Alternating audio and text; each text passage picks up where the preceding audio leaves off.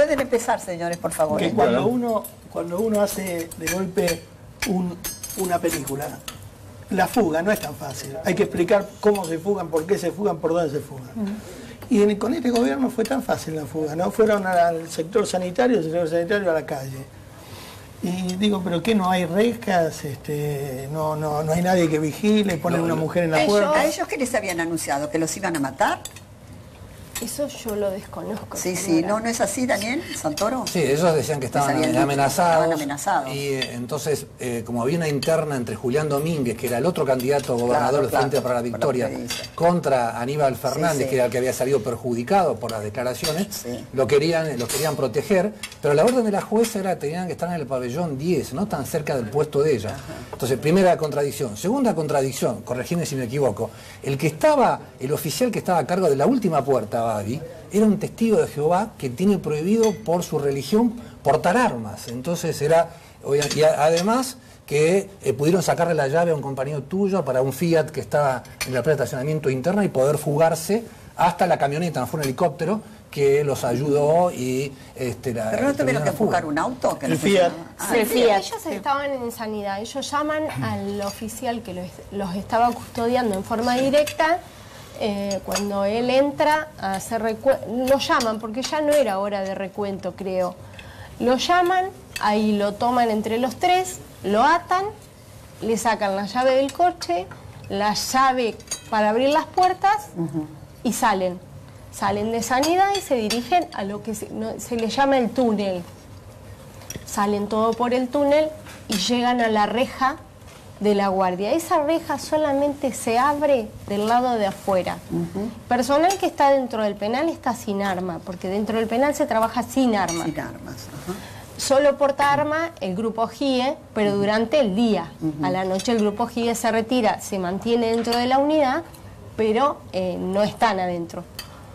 Eh, cuando ellos llegan, cualquier personal que llega a la reja debe tocar timbre. Ellos no tocaron timbre. ¿Y cómo, perdón, Ellos llegaron a la reja, ¿y cómo tenían armas si no había armas adentro del...? ellos traían un arma con ellos que ¿Uno de ellos nada más? ¿O los tres? ¿Los tres Eh, armados? No, el arma que yo le vi es a Martín. De entrada se había dicho que la había tallado como Derringer. Es cierto, sí, sí. el- Parece que se creó un arma de madera, pero ustedes eran de noche, ellos tenían puesto un el pullover de, que usan ustedes, Del los servicio. agentes del servicio penitenciario, eso confundió la... Yo llego a, a lo que es la guardia. Mi función esa noche era ayudante de jefe de turno. ¿No era el día de su cumpleaños? Sí. Ah, ¿y ¿cómo estaba trabajando el día de su cumpleaños? Y yo quería asegurar el servicio penitenciario. Yo venía trabajando desde el día 22, porque cuando eh, entras en época de fiesta te recargan, trabajas continuo. Hice todos los recargos y dije, quiero pasar el 31 con mi hijita. Entonces digo, bueno, tengo que elegir entre el 31 y el día de mi cumpleaños, preferí pasar el 31 con ella. Y bueno, yo llego a la guardia a dos menos cuarto, los oficiales de guardia se estaban relevando en ese momento. Cuando el que debe- debía ir a descansar sale por el pasillo que te conduce. Si vos subís a las habitaciones donde duermen ellos y desembocás en lo que es el muro, y si bajás, bajás, bajás al túnel donde estaban los internos. Cuando el oficial se va, justo en ese momento se prende la cisterna, es decir, la bomba, eh, la cisterna que hace un ruido fuertísimo Ah, que sí. llena el tanque de agua a toda la unidad, es decir, cuando el oficial se va y la bomba se enciende, se escucha un ruido a llave. El oficial que había quedado sentado de aquel lado de la mesa, eh, con el cel- eh, en ese momento estaba con el celular en la mano. Jugando, mandando mensajes. No sé si Sí, no- bueno, la lo policía tenía en la mano. Sí, sí, sí. Sí. El oficial estaba sentado, entonces cuando escucha el ruido a llave, eh, me mira, yo lo miro, él mira el pasillo, para lo que yo interpreto que el otro oficial que se había ido a descansar, porque fue todo cuestión de minutos, Muy rápido todo, claro. Sí, sí. eh, le iba a pasar las novedades, le había faltado pasarle algo. Sigo haciendo el libro y él toma el mismo camino. Bajo el ruido se escuchaban voces que yo interpreté que se trataba de, de, de ellos hablando. Eh, Cuando sigo haciendo el libro, no venía porque yo mi idea era llegar al- a la guardia, ver cómo estaba la guardia y subir al muro, hacer la recorrida del muro, que es algo normal. Eh, no venía más. En ese momento eh, levanto la vista y los veo a los tres. Martín, Echiliasi y Cristian Lanata. Entonces el que abrió la puerta fue tu compañero, Claro, yo, amenazado con esa pistola de madera. yo no esa sé. cuestión no la sé. Si está, fue amenazado, si no los A tu conoció. compañero también lo culpan de... Está en la misma condición que yo, sí. Y al ¿En director de la cárcel... ¿Por qué están en disponibilidad ustedes? ¿Sospechan de algo de ustedes? No, la justicia no sospecha nada de Nada, nosotros. Solo en el sumario administrativo eh, nos retiran de la fuerza para, para investigar Para a ver si tenemos claro. algo que ver. ¿Usted quería preguntar algo, diputado? No, no. Eh, vos su sabés mujer que- el otro día acá, Mariana Subí. El sábado pasado El sábado estuvo, pasado, sí. que tuvo enorme repercusión, ¿eh? Es una mujer muy valiente. Sí, Mariana es muy valiente, igual que Graciela. Tania. Exactamente. ¿Qué está pasando hoy en Santa Cruz, diputado? ¿Cuántas cosas qué pasan en Santa qué Cruz? cara, eh? Qué expresión, qué expresiva. la- ¿El cordero es patagónico para el diputado especialmente? Lo mandaron. la mandaron. Mire, la verdad es que en Santa Cruz pasan muchas cosas. Primero hay una sensación, yo estuve ayer, yo llegué hoy de, de Río Gallegos, y la sensación de, de la gente es de una estafa, porque en realidad había una gran necesidad de cambio en la provincia y, y la gente se siente que ha sido estafada, porque además nosotros ganamos las elecciones con el 47% de los votos, 33% había sacado Alicia Kirchner y el gobernador de la provincia, que en ese momento que era Daniel Peralta, había sacado 17 y 18 puntos. Pero por la ley de lemas, Pero por la ley de lemas, lo, lo que hace la ley de lemas es presume que todos los votos de Peralta iban a Alicia, con lo cual no era así. Es como era como suponer, por ejemplo, en la provincia de Buenos Aires que todos los votos de Aníbal, eh, perdón, que todos los votos de Domínguez Sí. iban a ir a Aníbal. Sí, sí. Y vimos que esa cosa no sucedió. Entonces, esto sumado a que, por ejemplo, todo el norte de la provincia de Santa Cruz no tiene agua donde tenemos problemas de establecimientos educativos, donde van a los, a los hospitales y faltan insumos y profesionales, donde la obra social de la provincia de Santa Cruz este, Pero no puede fue una atender provincia a una provincia 27 años, 27 riquísima, años, ¿no? Pero además, exactamente, exactamente. Recibiendo enormes sumas, ¿no? Pero, mire, 20 mil millones de pesos en los últimos 7 años en obra pública, solamente obra pública vial. O sea, han derramado una cantidad de dinero impresionante. nunca escuché Entonces, hablar de tantos miles de millones Sí, como sí, estos sí. últimos 15 No, días. Pero además, de eh, lo nuestro es una provincia Ahora dicen que eran rica. billetes de 5, de 5 pesos, ¿vieron? Y, y- ¿Vieron eso? y los reyes no son los padres. ¿no? No, en el video, se- se- según expertos en el video que mostró Telenoche, se calcula que en esos en 90 horas se contaron en total unos 15 millones de dólares. Pero lo más grave de lo que está haciendo el diputado es que va a hacer Baez, porque Baez eh, dejó en la calle 1.800 trabajadores, dejó de operar Austral Construcciones, un problema social, y él tiene plata en el exterior y va rumbo a pedir el concurso de acreedores, pedir la quiebra. Entonces, ¿qué va a pasar? Yo- sí, yo, yo creo, Daniel, que Baez es la cara o es el, el símbolo de la excitación del kirchnerismo por el dinero. Porque en realidad eso es eh, Lázaro Báez. Lázaro Báez es un testaferro. Lázaro Báez no es el, el empresario, un empresario que hace negocios en connivencia con el Estado. Lázaro Báez es Kirchner. Pero tenía varias compañías, varias empresas. Sí, por supuesto. Fíjense una cosa, todas las compañías fueron creadas 10 días antes de que Néstor Kirchner asuma la presidencia. Y estas compañías se empiezan a caer y empiezan a entrar en convocatoria de acreedores después que el kirchnerismo pierde. Estas compañías fueron básicamente eh, creadas para sacarle el dinero al pueblo argentino, para sacarle el dinero al pueblo santacruceño. Por eso le digo, es la cara más visible, o es el significado más visible de la excitación del kirchnerismo por el Le, dinero. le pongo una cifra nada más al comentario del diputado. Sí, De, eh, los presidentes Néstor y Cristina Kirchner le dieron en contratos de obra pública en total 650 millones de dólares a las empresas de Lázaro Báez y Lázaro Báez les pagó por el alquiler de los hoteles 6,5 millones de dólares, ¿no? Esa es la magnitud del plata de la que estamos hablando. Yo le diría que es muchísimo más porque eh, eso sin contar, por ejemplo, ahora está haciendo la auditoría Vialidad Nacional. Vialidad Nacional en los últimos siete años le asignó a la provincia de Santa Cruz 20 mil millones de pesos en obra a la provincia de Santa Cruz. 17 mil millones de pesos se lo adjudicaron a Lázaro Báez. Pero le cuento un dato de cómo funciona. Le adjudicaron, por ejemplo, la ruta de Comodoro Rivadavia a Caleta Olivia, corazón de la actividad petrolera, con un gran tráfico. Una ruta que se licitó en ese momento en 200 millones de pesos. El doble de lo que costaba en ese momento cualquier ruta. Se la adjudicaron a Austral Construcciones. Ejecutó el 36%, debió haber cobrado 72 millones de pesos. 800 millones de pesos. Qué barbaridad. Y acá hay alguien que no se menciona, que es, por ejemplo, además de los Kirchner, es Julio Devido. Julio Devido dependía este área de vialidad nacional. 800 millones de pesos. Le Ahora- puedo contar rutas, por ejemplo, de Bajo Caracoles a Las Heras. Enripiado de la ruta de Bajo Caracoles a Las Heras. Nunca la hicieron, las cobraron. Ahora, discúlpame, lo hablábamos en maquillaje. Sí, sí. Ya la gente no quiere, no, no, no le importa el aumento del colectivo, le duele, que no quiere decir, pero quieren justicia. Yo veía hoy cómo sacaban a Jaime y la gente pidiendo que devuelvan la plata. Estábamos diciendo sí. como, la, la plata tiene que volver, porque que a mí me están diciendo eh, 3 mil millones, 50 mil millones, ese- 200 todo ese mil. dinero, esos miles y miles de dólares, ¿de dónde provenía? ¿Cuál era el origen? Era plata de todos los argentinos, era No, contrato Pero de obra que- de, pública. de obras que no, no realizadas. Pero que dijo el Esto- diputado, Eso, eso Mirta, de obras no obra- realizadas. la mitad de las obras, según el informe que está publicado Sí, hoy, parte de las obras no fueron realizadas. Por no ejemplo, fueron una realizadas. 300 millones de pesos. Sí. La cobró Lázaro Báez y no la ejecutó. Entonces, ¿qué es lo que hacía además?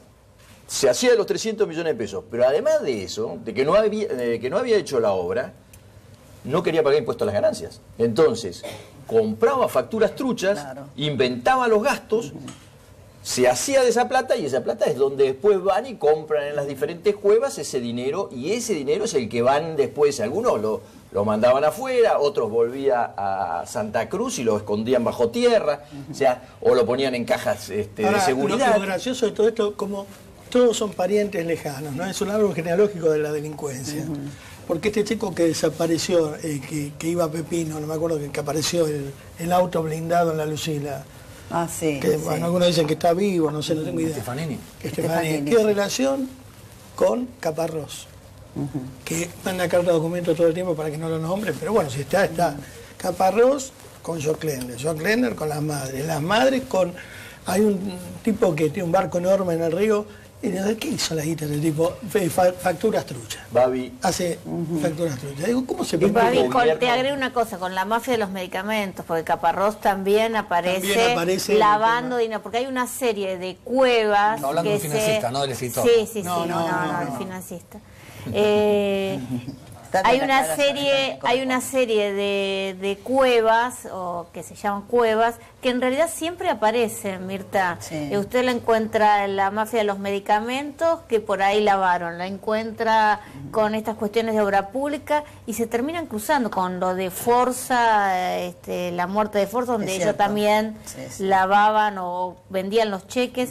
Y la verdad que es esa la estructura mafiosa que, que bueno, Pero que se mantuvo. Martín, al- bueno, al- ese era Ese otro. también Ese también aparece está vinculado con Exactamente, ese eh, eh, Solán Belone en el juicio por el triple crimen dice que eh, Forza le temía porque le debía dinero, decir, le había cambiado cheques y que a, a Pérez Corradis y a eran las personas que más temía y a Julio Pose creo que era el otro.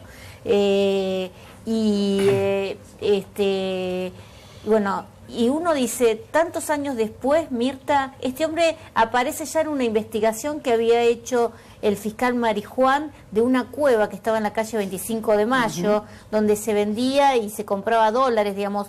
El fiscal Marijuán hizo una excelente investigación. Nosotros fuimos, o conozco la causa, porque ahí también se llevaban los cheques de los medicamentos, de la mafia de los medicamentos, y, y ahora aparece acá, digamos, se mudó, parece que ahora la cueva la tiene sobre, creo que sobre San Martín, pero, digamos, la actividad sobrevive, es decir, que acá hay alguien que permitió esta impunidad, porque a usted, a cualquiera de nosotros, si vamos en un banco, vamos a un banco y sacamos este, más de 10 mil No, te- pesos, seguramente nos van a preguntar. O te hacen todo, uno ¿eh? reporte de Horroroso. operación de- O, o decís que ¿no? cambiaste el auto acá y te va la FIPA el otro día a tu casa a ver qué auto tenés, cuánto pagaste. Mirta, acá hay una estructura financiera en negro que funcionó en época del menemismo, Exacto. eh, entonces donde estaba Emir Yoma. Ahora funcionó con Lázaro Báez.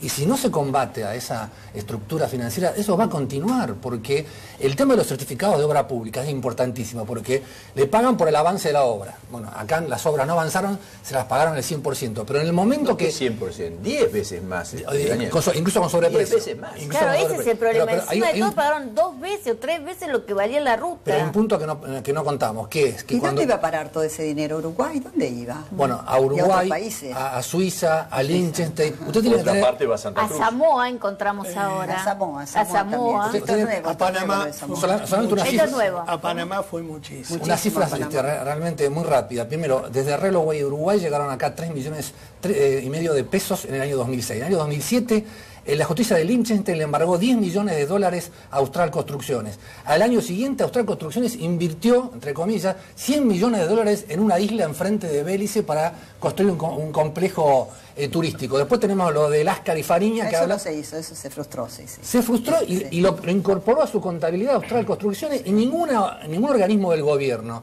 la FIP, la Unidad de Información, le dijo, señor, explíqueme el origen de esta plata que fue y vino, cómo fue y vino esa cantidad que para nosotros es enorme, de 100 millones de dólares. Después tenemos también lo mismo con los 55 millones de euros de que habló Fariña y el Ascar. Después Suiza le bloqueó 22 Ah, millones de dólares. Perdóname, una preguntita para arrancar la Sí, sí, suma. está bien. ¿Qué pasó con la plata del sur que nunca se supo antes de ser presidente Néstor? 500 millones de dólares, que no Ah, sé. eso ¿a estaba dónde lista, fueron? está en Las me regalías petroleras. Nunca se Eso, No, eso nunca, eh. Eso se los dio Menem, me parece. Se los dio Menem. Y Caballo. Pero nunca Menem se Se dieron aplicó a todas las provincias petroleras. Eso me parece que anda por. No, no, esa plata no existe más. Nunca volvió, nunca volvió. Nunca dio explicación. Volvió, volvió, pero nunca le dieron volvió. explicaciones, nunca rindieron la cuenta, Pero eso lo pusieron además. ¿eh? Volvió a la Argentina ese dinero. Volvió en la Argentina en el año plata. 2007 que Con la trajo Acevedo. con Sergio Acevedo. Sergio Acevedo lo colocó en la provincia de Santa Cruz y ahí empezaron a hacer todo un plan de Era obra. los intereses. Se rindieron, nunca Claro. se rindieron los intereses, nunca hubo una ¿Eran rendición. regalías por el petróleo? Eran regalías hidrocarburíferas, fueron 600 millones en una composición de efectivo y además acciones de IPF. Entonces, la parte de efectivo se colocó en el extranjero, nadie supo en qué bancos, ni a qué tasas de interés, ni nunca hubo una rendición, y las acciones se vendieron y eso totalizó 1.200 millones de dólares. el financista de ese momento era Aldo Ducler. Y la diputada, la diputada que estaba en la comisión antilavado recordará por qué se preocupó Cristina, que en ese momento era diputada y senadora, cuando llegaron las cajas de Estados Unidos de la cuenta M-Bank y del Citibank. ¿Te recuerdas? No, ella quería investigar esa área, digamos, como nos dividimos, había muchos casos en ese momento, cada diputado o en conjunto dos diputados tomaban distintas causas y ella tomó esa. Ahora, en un país con 35% de pobres, porque éramos Alemania, teníamos menos pobres que Alemania, hoy se veía, por ejemplo, un canal de televisión, le pegaban al gobierno de Macri. No, no, yo no soy partidario, lo voté, pero me hubiera gustado otro presidente con un poco más de sentido social. Pero hoy se hablaba de las villas y se mostraban las villas, pero ninguna de esas casas de la villa estuvieron hechas en los últimos tres meses. Hoy se hablaba de la pobreza de este gobierno y se mostraban villas que tienen 40, 50, 60 años y que nadie las mejoró, nadie las sacó a la gente de esa Pero condición. también hay un agravante. la pobreza, ¿eh? Claro que Sí. aumenta, y va a Hay un agravante en todo esto. Los argentinos le hemos dado al gobierno de los Kirchner en esta década, comparado con la década pasada, 600 mil millones de dólares más. Y uno puede decir, bueno, con 600 mil millones de dólares más hemos avanzado en ir achicando la pobreza, pero todavía tenemos 46% de la población que no tiene cloacas, 42% de la población que no tiene red de gas, 25% de la población que no tiene red de agua. Pero esto es porque una obra pública se pagaba supuesto, cinco veces y encima de todo a las empresas amigas que después Nosotros nos en construían. Santa Cruz, esto que yo te contaba, ¿no? esto que vos 800 contás millones y no tienen agua. No tenemos agua. Pero creo que ¿sabes esto no es La de Santa Cruz. indigencia ha aumentado también, ¿eh? la pobreza y la indigencia. Y la pobreza y la indigencia. por el informe de la UCA dice que la pobreza llegó a 32%, Sí, sí. un millón y medio más de Sí, pobres sí, en, esto, en estos meses, y el macrismo ahora lo critica. Primero, el informe de la UCA tiene el aval del Papa Francisco, eh, Monseñor Fernández, el actual rector de la UCA, lo viene haciendo. Y el macrismo cuando estaba en la oposición, usaba ese informe para hablar de la pobreza porque el gobierno de Cristina Kirchner había intervenido al INDEC y no tenemos realmente cifras para ver cuánto es la pobreza. En este caso es el 32% de la población medida por ingresos, sin tener en cuenta si, ac- acceden a la salud o si acceden a la, a la educación, ¿no? Pero hay que eh, Ahora- discutir sobre indicadores Perdón, válidos, ¿no? entusiasma maestro. porque Espera, yo- espera, espera, espera, tengo Sí, que decir, no me perdón. olvidé. Sí. Y para esta noche un vino especial, como si recién hubiéramos sabido que íbamos a comer. Y para esta noche un vino especial, vamos a compartir en la mesa un Malbec Bodega Privada Colección, un vino joven, frutado y elegante. Señora locutora, por favor. Bodega privada colección. No se oye. Ahí estamos. Daniel, el Bodega gobierno, privada ¿no? colección. Vinos que sorprenden. Ahora sí la escuchamos. ¿Desea usted, No, diputado? Daniel, el gobierno no es que está